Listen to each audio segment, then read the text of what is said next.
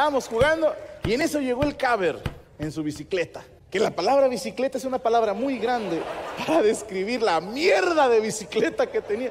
Era horrenda, mis hermanos. ¿Qué color era? Color tétanos.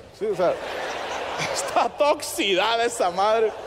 El manubrio sin plásticos. Este güey se bajaba siempre con las manos naranjas, güey. Vas manejando comiendo chetos, hijo de tu pinche madre. No tenía pedales, hazme el favor. No tenía pedales, tenía los puros tubitos. Yo hasta le pregunté, ¿cómo chingada rompiste los pedales, güey? Me dijo, no, así me la regalaron.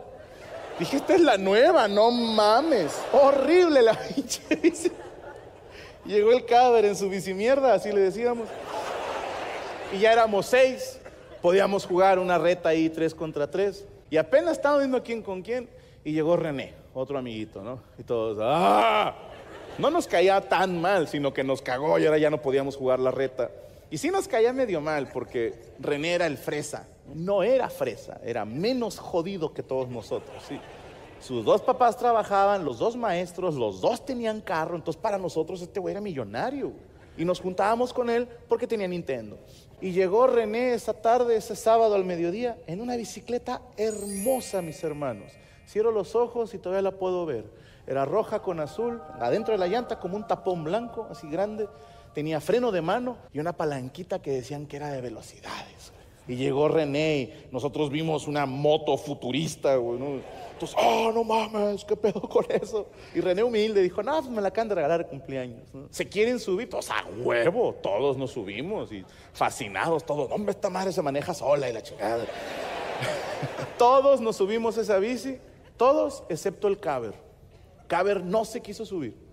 Y muchos de ustedes ya entendieron lo que yo no entendí de niño. Caber se sintió como amenazado, se sintió menos por una bici tan bonita y su chingadera de bicicleta.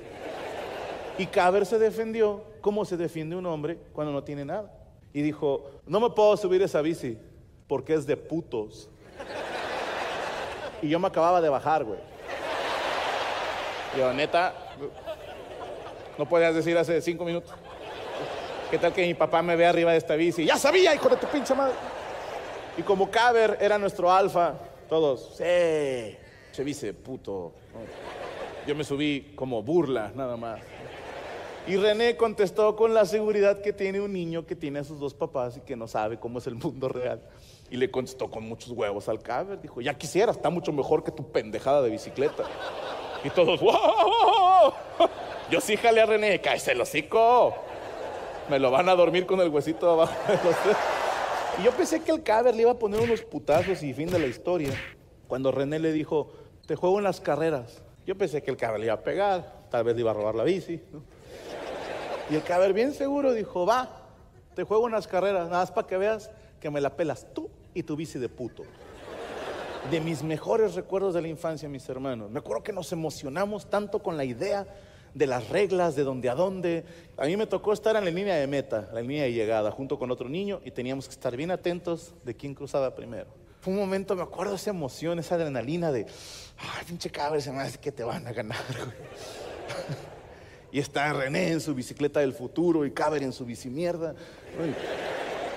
En sus marcas, listos, fuera. Y arranca René sentado en su bicicleta de freno de mano y con un chingo de velocidades. Tres.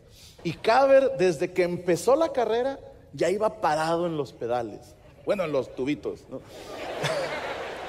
Desde que arrancó la carrera iba parado y la bici se sangoloteaba por todos lados. Yo decía, se va a desbaratar esa madre, güey. Pinche va a acabar la carrera corriendo con un manubrio nada más. La sangoloteaba por todos lados. Pero empezó a ganar ventaja. Y René también se enderezó en los pedales para apretar la velocidad. Cuenta la leyenda que cambió en la palanquita, no me consta. Y venían parejeando. A casi media carrera venían muy, muy parejitos. Y me acuerdo tanto que yo estaba esperando a los de hacia mí. Y el Caber estaba viendo hacia mí. Y volteaba a ver a René y seguía viendo hacia mí. Y de repente gritó. Nunca se me va a olvidar. Saltó un grito. Y yo, ¡ay, güey! Yo sí me hice para atrás y me puse bien atento. Y el Caber cruzó primero. Y fue un momento glorioso, mis hermanos. Era el triunfo del pobre sobre el rico. Era, la revolución, era Emiliano Zapata en una bicicleta este cabrón. Y nosotros, ¡a huevo, pinche Caber! Pero nos duró muy poquito la alegría porque Caber se estrelló salvajemente con la cerca que delimitaba las canchas.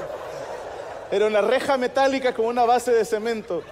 La, la, la llanta delantera pegó en la base de cemento, la inercia hizo su trabajo y Caber salió disparado hacia adelante y pegó horrible de cara con la reja de frente en el piso. ¡Tuc! sonó.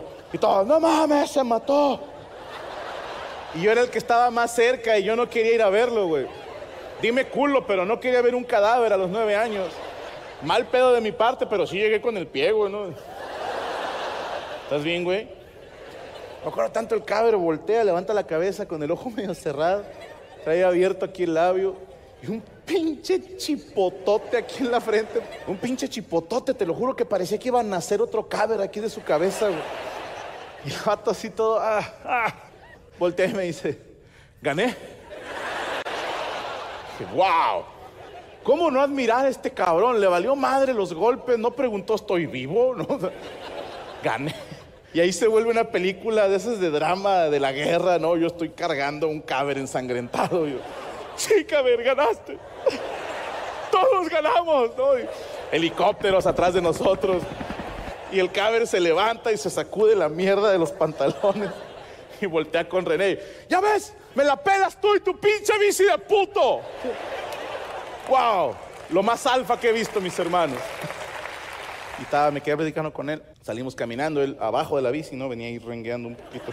Y le digo, güey, qué, qué putazo te metiste. El vato, sí. ¿Por qué no frenaste, güey? Y la respuesta del caber me deja frío. Y el caber me dice, no, es que mi bici no tiene frenos.